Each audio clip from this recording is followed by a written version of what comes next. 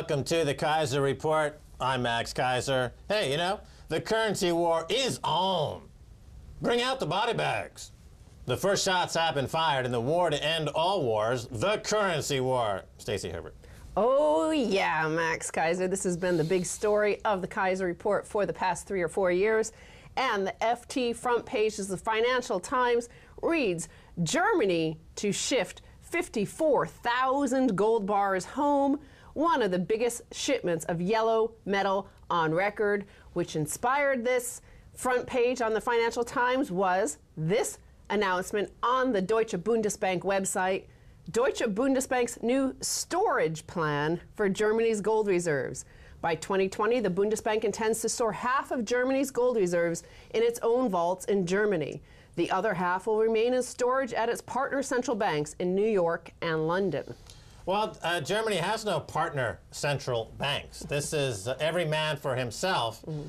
and uh, those with the most gold are going to win the currency war, as we've been warning about now for years.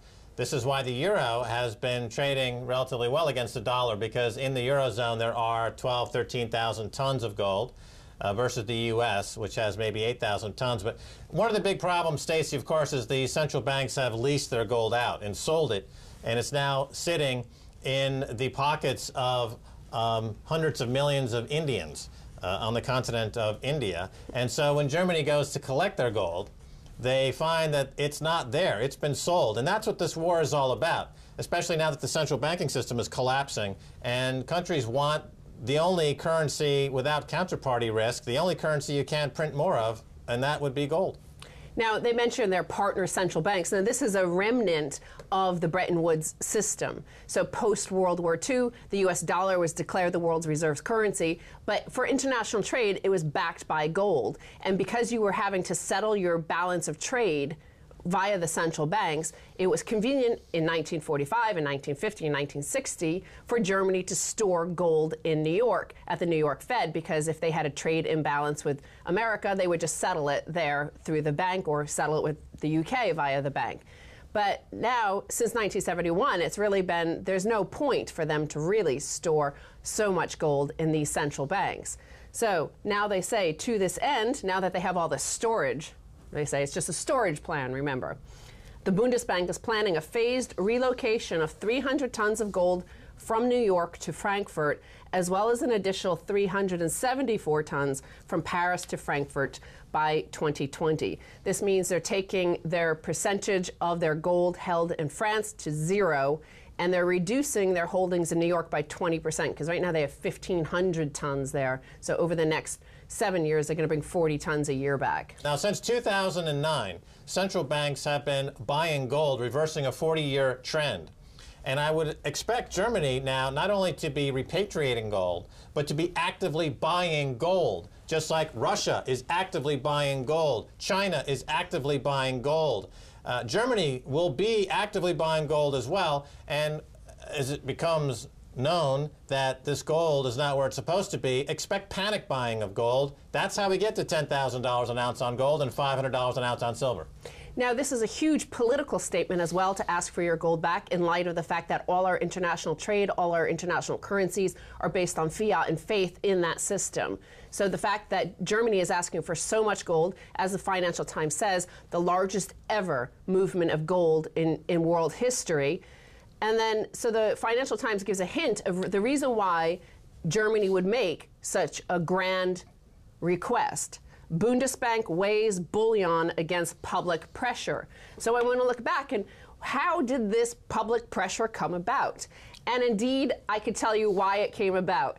Here is the man Nostradamus warned you about, the one that would cause World War III.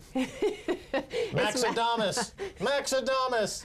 that this is World War III. It's a currency war. We've been calling this for 10 years.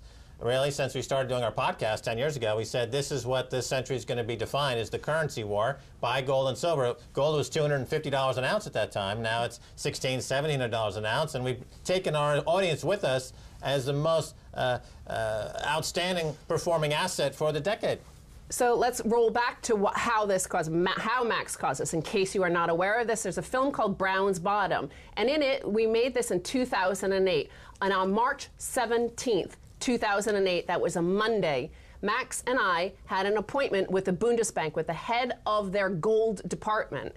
And what happened on Sunday, the 16th of March 2008, was Ben Bernanke had slashed interest rates by 75 basis point. Unprecedented move to slash interest rates so much and on a Sunday. And the reason he did this was because of the collapse of Bear Stearns. Also, gold had just hit the $1,000 mark, the first time ever. So here, Max had an appointment with the Bundesbank head of the gold department. And the reason for it was we were investigating Brown's bottom, why he sold their gold at historic lows. We wanted to find out why the Bundesbank kept their gold in order to understand the psychology of Gordon Brown. Lo and behold, there was panic, there was chaos, and let's turn to the very last clip of that film of what happened when Max went into the Bundesbank. He was not allowed to speak to the head of gold, but he did speak to another executive inside the building. The, the fear is that the banking system itself is in peril. That is the question, yeah. That's the question. It's in America, it's in Germany, you know. Right. But you don't know. Actually, now you don't know what's what's going on. No? Up to now, I mean, you, you don't really know what, what's coming, no? what's coming. Uh, the most fascinating thing I learned is that all the gold in Germany is in New York. Now, since that film was made, Stacy, central banks around the world have been buying gold. Uh, they have also been printing money. The amount of money that central banks have been printing since that film came out is up 400%. Uh, many, many trillions of fiat dollars, yen, and uh, euros have been created. The total supply of gold around the world during the same period of time is up a whopping 8%. Well, again, you know, that was before the collapse of Lehman Brothers, before the collapse, the near collapse of the global financial system. And in response to that film, GATA, the Gold Antitrust Action Committee, said this Keiser's documentary may be sensational for getting an acknowledgement from the German central bank for the first time that Germany's gold reserves are actually in the custody of the United States. This is a detail the Bundesbank long has denied to others who have inquired and is potentially a matter of great controversy in Germany. This is what GATA wrote in 2009, August 2009. Since then, of course, there's been Lars Schall doggedly pursuing this story, emailing the Bundesbank every single day for the last four years. And this turned into the tabloid story. Bild and Handelsblatt all covered it in Germany and then it got up to the Congress people, senators, and their pol- politicians, and now we have a situation where they're asking for their gold back. Here's a number that will be one of the defining numbers of 2013 grams per capita. This is the uh, division of total gold held by a country divided by its population. Number one in the world is Switzerland with about 126 grams per capita. America's got about 25 grams per capita, but that's, of course, assuming that the gold is in Fort Knox, which a lot of people argue it's not. And uh, Germany and the rest of Europe and people around the world want to boost their grams per capita number as we enter this currency war, which you, you can look at it this way, Stacy. We've gone from the Cold War to the Gold War. yes. And now, is this Gold War going to go down so, you know, easily in the United States? Because, of course, this is uh, really a shot across the bow of the US dollar reserve standard. So let's look at what the largest bond fund manager in the world says about this. This is also on the front page of the Financial Times, Mohammed El-Erian, Germany's gold move. He says, quote, this unusual and highly visible decision is sure to trigger an explosion of media commentary relating both to motivation and implications especially since Germany joins Iran, Libya, and Venezuela in making such a move. Now, Max, we all know what happened to Libya. We all know what is happening to Iran and Venezuela. This is a remarkable threat, essentially. Well, it is a threat. And uh, uh, this fellow who works at PIMCO with Bill Gross, of course, PIMCO is the biggest bond portfolio in the world. And this is uh, a continuation of what we're seeing for example, Paul Singer, who was uh, owed some money from uh, Argentina, uh, seized one of their ships at sea. Here, PIMCO is saying, um, unless you keep buying U.S. Treasury bonds, expect to happen to you what happened to Gaddafi. Expect to happen to you what happened to Saddam Hussein. Uh, our contacts at the State Department of America will come and bomb you. That's what this fellow at PIMCO is saying. So when did a bond manager have access to the Pentagon to go kill the comp competition? Oh, that's the American business model. That's the Washington consensus, isn't it? Uh, we don't want to compete. We'll just freaking kill you. Uh, thank Elron, L, Pimco, Pimp, Pimp, Bond, Pimp. You know, who needs that? Who needs that? What about capitalism? What about competition, Pimco? Don't kill your competitors, you frickin' cowardly moron. Yes, but listen, they are living in a world in a matrix in which they are the bond kings. Here, they've actually been advising clients, and Bill Gross has been quite vocal that he himself is buying gold for his own portfolio. But that's within the context of a fiat currency global system in which the US dollar is king. When Germany does this, however, it's not just a simple investor protecting their wealth. This is a political statement. This is an act of war. They see that it makes the, their whole paradigm of investment change. It, it is an act of war, and Germany is correct to want to repatriate their gold and they should step it up a bit. And I think this is the opening shot. They should demand not 500 tons or 600 tons. They should demand everything. They should be out there aggressively buying gold. And people in Germany, you should be buying gold yourself. Join the Silver Liberation Army and the global insurrection against banker occupation. Buy silver and gold yourself, German. In America, look at it this way. They, they, they threaten to take their guns, and there's mass panic at the gun store. Imagine when they say, well, we're not sure about the U.S. dollar anymore. We're going to have to roll it up to a global uh, special drawing right. There's going to be mass panic of gold buying driving it to $10,000 an ounce, my, uh, my target, which has been in, in, place for 10 years. So Mohammed El-Erian concludes with this, the most likely outcome right now is for Germany's decision to have minimum systemic impact. But should this be wrong and the decision fuel greater suspicion, the resulting hit to what remains a multilateral policy cooperation will be problematic for virtually everybody. So again, he's seeing a breakdown of the global system, which is why I think he's not saying like, oh, as an investor, this is a bad decision for Germany. He's saying, wow, the entire system in which we, PIMCO, operate, in which we are the bond kings, in which we are the guys connected to the US dollar money issuers, that system's falling apart. And what do we do? Well, it's an insurrection against the bond king. The bond king must topple, buy gold and silver, and wipe them all out. Wipe them out! There's got to be a scorched earth policy against the paper uh, pushers, the paper bugs. It's scorched earth. That means all fiat currencies exterminated. and then finally, you did mention what the investor, the ordinary person out there should do. And I was sent this tweet, a photo from somebody in Sarasota, Florida, and they went to a Mexican taco stand, and there was a game. And if you look at this picture, it says silver coins are frequently added to this game. The Chinese government is urging its 1 billion citizens to buy silver in order to hedge against inflation and the devaluing of currency. Should you be lucky enough to win a silver coin in this game, save it as it could be easily worth $100 in just a few years. Well, in Mexico, the word for money is silver. And that's been true around the world, countries around the world. Mexicans aren't no fools. They'd be buying that silver. All right, Stacy, thanks so much. Thank you, Max. Stay tuned for the second half. I'll be speaking to Doug Casey.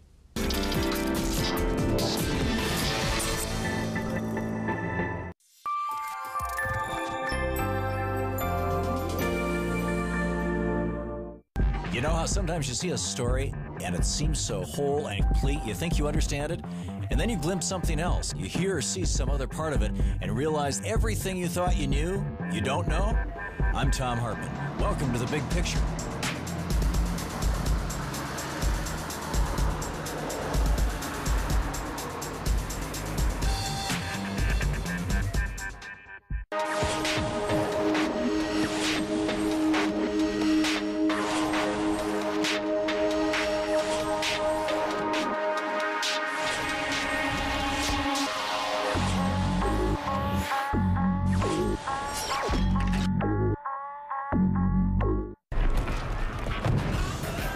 Deadly rivals for decades. If you had 15,000 people killing each other in any other country, there would be diplomats, there would be mediators, it would go to the UN.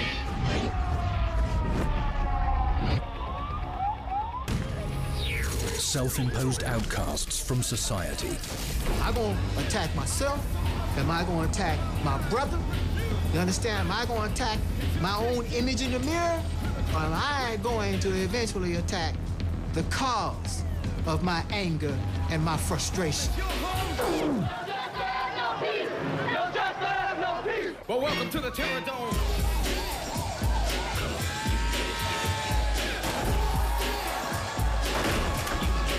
Two of the most violent gangs in U.S. history. It's just the whole motto, kill or be killed.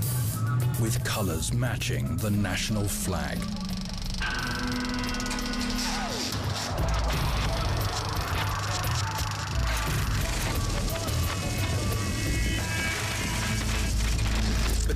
Country uses violence whenever it chooses, and then it legitimizes the violence. They are made in America on RT.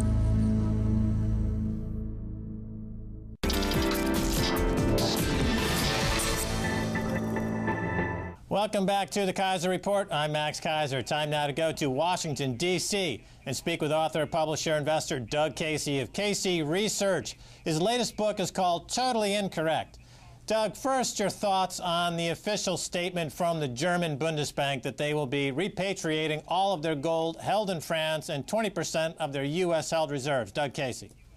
It makes all the sense in the world, actually. Uh, it made sense in the past when the Russians were there, when the East Germans were there to diversify geographically their gold, but uh, it serves no useful purpose to store these go uh, their gold with uh, foreign central banks, which actually they have no reason to trust. Well, Doug, uh, we've got a, a, move around the world. Central banks are repatriating gold as part of what some are calling the, the currency war. It appears as though all the central banks printing lots and lots of money, trillions of dollars of fiat currency, is making these central banks nervous. Uh, are they right to be nervous? Yes, they should be nervous because the assets of most central banks in the world are the paper currencies of other central banks, mainly the uh, Federal Reserve, mainly the U.S. government's paper money. And there's no reason at all why they should trust that. So eventually they're going to start trading all that paper for gold. That's what's going to happen because, as you're, as you're well aware, the Russians and the Chinese, when they're dealing with each other, have to use, at the moment, U.S. dollars that cleared through New York. This makes no sense at all. The Indians and the Iranians. So they're going to cut the U.S. dollar out of the, out of the loop totally in the future. Okay, so I want to get focused on this German repatriation of gold for a second. Um, I'm looking at the comments from Mohammed El Erian, who's the um, co-head of PIMCO, biggest bond buyer owner in the U.S. He, he wrote an opinion piece in the FT, and he likens this act by Germany as similar to the behavior of Libya, Iran, Venezuela. Now, how likely is that we're going to see a serious repercussions against Germany? In other words, Doug, uh, you have a, a private investor who is stepping into the fray here and virtually threatening Germany uh, with Libya-like actions for simply wanting their gold back. Uh, there's a couple of moving parts here. What do you see, Doug Casey? I, I, really don't know what's on the minds of the Germans, except it seems it impresses me as a very intelligent thing for them to do. And I'm sure they're sorry if the Americans and the French don't like it, but they have to act in their own best interests. And it's certainly in their own best interest to have their gold repatriated to the place where it belongs. Uh, and as far as whether we're going to have any wars in the future, I, I don't think there's any question about that because as the going gets tough within countries, governments always like to redirect the problem to somebody else, some nasty foreigners that are hurting us. And uh, some of these people actually think that uh, war is good for the economy. So, yes, I'm sure we're going to see more of that type of thing. And maybe not just little sport wars like in Afghanistan and what was in Iraq, uh, real wars where uh, the U.S. goes to hunt big game, which is going to be very, very dangerous. Okay, uh, Doug Casey, let's talk about your book, Totally Incorrect. Uh, you compare the U.S. to the last days of the Roman Empire. Uh, is this act by Germany a sign of the end of the dollar as reserve currency and America as a superpower post Bretton Woods? Well, actually, I see a lot of trouble in the future, and perhaps this is a straw in the wind. because none of these governments trust each other. I mean, after all, one of the main things that governments do is go to war with each other. Uh, so that uh, I expect you're going to see more of this type of thing in the future. Why should the Germans be storing their gold with the French and the Americans? Uh, it, it makes no sense. It makes as much sense as for the Americans to store their gold with the Germans. No, I mean, just as every individual ought to have gold and keep it in his own possession, so should these uh, banks. Well, I, th well, I think what Al, Al Ryan is saying here is that Germany is declaring an active currency war. So is this World War III, as some have posited, because uh, it, it, it, sounds a bit rich. However, with the, if you take into consideration um, the current spate of, of, of, of uh, economic malaise around the world, the, and, and the attempt by governments to, to debase their own currencies as a way to fight this war, is this is it too much to say that Germany is really stepping up and making this really an act of a currency war, Doug? I don't think there's any question about the fact that uh, the U.S. is headed downhill rapidly. Uh, one of the relatively few laws that I believe in is the second law of thermodynamics. And one of the implications of that is that all things wind down after time. Things always revert to the mean. And uh, I'm afraid that the U.S. Uh, has become corrupt over the years. In fact, I don't even call it America anymore. Uh, it used to be America, but America was an excellent idea, a unique idea. But now that geographical area of North America is just the U.S. And uh, sure, it's going downhill. It's becoming highly taxed, highly regulated, uh, very corrupt, very constipated it's uh, and warlike, so that uh, there's not much to distinguish the U.S. from any of the other 200 nation states in the world anymore. It's a real pity. All right, now, Doug Casey, you've been talking about gold for a number of years. Uh, you're known for this uh, around the world, and um, these views of yours and others uh, at first were not really embraced uh, because of the what I would call the, the paper lobby or the paper pushers. But now we see a sea change uh, with the actions of Germany and others to repatriate gold, etc. We had something very recently, Doug Casey, which I, found remarkable. There was a push in America for a platinum coin, which would not be made of platinum, of course, or have a very minimal uh, amount of platinum, as a way to fix this debt uh, budget, uh, de the, the, debt ceiling. Uh, but it's also at the same time there seems to be schizophrenia because people don't like the idea of a precious metal like gold being backing the currency, but they somehow like the idea of a, fan a fantasy uh, platinum coin fixing their debt ceiling problem. Is this schizophrenic? Is it madness? What does this tell you, Doug? Yes, it's, uh, it's actually stupidity, Max. Uh, and I'm not saying that Mr. Bernanke and uh, whoever it was that came up with this ridiculous idea has a low IQ. That's not the case. I'm defining stupidity as an unwitting tendency to self destruction.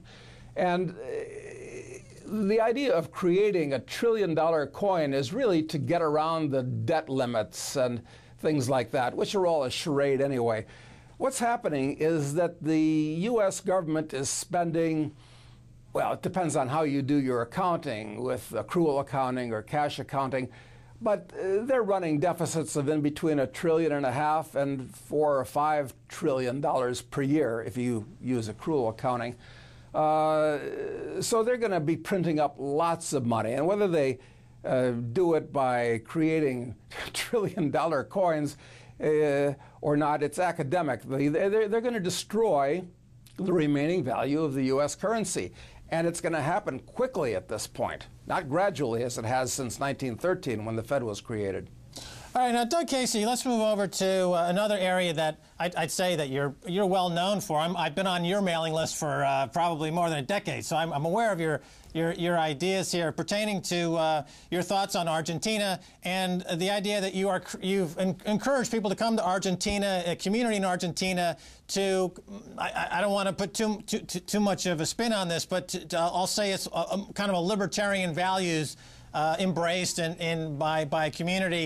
And you've been talking about this for a while. Recently, we have people mimicking you, Doug, if I can say that. You've got Glenn Beck, who wants to start a new community in Texas based on libertarian values. You've got the Koch brothers, who want to uh, take over an island in Detroit and create a new society based on libertarian values. Yeah. So my first, my yeah. first question is, uh, uh, how's that going? How's this community in Argentina going, Doug? Hmm. It's actually going fantastically well, and I don't say that as a promoter. Uh, I think that uh, Estancia de Cafayate is probably, in fact, certainly the best development in the world at cut in price. for a second. If I can just cut in, I'm, I'm sure it's a lovely place to be, but the idea that you uh, there's so much, uh, there's a split ideologically and e economically in the United States in terms of what the government should be doing. Let's say a pro-capitalist yeah. um, agenda, and yeah. uh, folks are seeming to say, you know, we want to secede. We, they're mimicking Ayn Rand and the idea of uh, the Galt's Gulch, the idea of Atlas Shrugged. We're going to walk away from the table. Does your community embrace that idea? And is that what we're seeing? Are people just saying, we're shrugging, we're, we're walking away, we don't want to play anymore? Your thoughts? Yeah, there's certainly an element of that. But the difference between what we're doing and what some others are doing is that uh, we think it's important to diversify your assets and your lifestyle internationally so that everything isn't in the bailiwick of one government. Because when you live in the country where you have a nationality and where you have your business, uh, that government will treat you as a milk cow, treat you as a, a possession of theirs. So this is why it's good to diversify into a different political entity uh, where you'll be treated better. You'll be treated as a, a rich tourist, in effect, cultivated. So uh, I think it's very nice what these other folks are doing, but uh, I, I, question the wisdom of trying to do it within the United States for Americans. But we have, we have people from 28 different countries uh, that have uh, joined us down there. Okay, so um, you're saying really you've got to be hedged about what's going on in the U.S. and the idea of creating something within the U.S. You've actually not hedged yourself at all, so it's going to be self-defeating for these people. I think that's a, an interesting point that people need to take on board. Now, on the subject of markets. Um, there's there's a branch of I guess you could call a branch of libertarianism which veers toward what you, what some call an, anarcho-capitalism, where eh, where you have no rules at all. There's a belief that the markets are entirely self-correcting, and we only have about 30 seconds left. Doug, what are your thoughts on this? Uh, I, I, actually think that that is the correct way to uh, for a society to be run. Look, the government as an entity is pure coercion. There's no voluntarism. It's pure force. It comes out of the barrel of a gun, as Mao Tse-tung said. So if you're going to have a government, it should just defend you. An army for, for from a, uh, threats from abroad, a police for domestic criminals, and a court system allowing you to adjudicate disputes without resorting to force. And a government should do nothing else besides that. All right, well, Doug Casey, I'd love to speak with you uh, some more on this uh, markets uh, and self-correction, but unfortunately, we're out of time. I have to say goodbye, but thanks so much for being on the Keiser Report. Max, a pleasure. Thank you. All right, and that's going to do it for this edition of the Keiser Report with me, Max Keiser, and Stacy Herbert. I'd like to thank my guest, Doug Casey of Casey Research. If you'd like to contact us, please tweet us at Keiser Report or at facebook.com forward slash Keiser Report. Until next time, Max Keiser saying bye, y'all.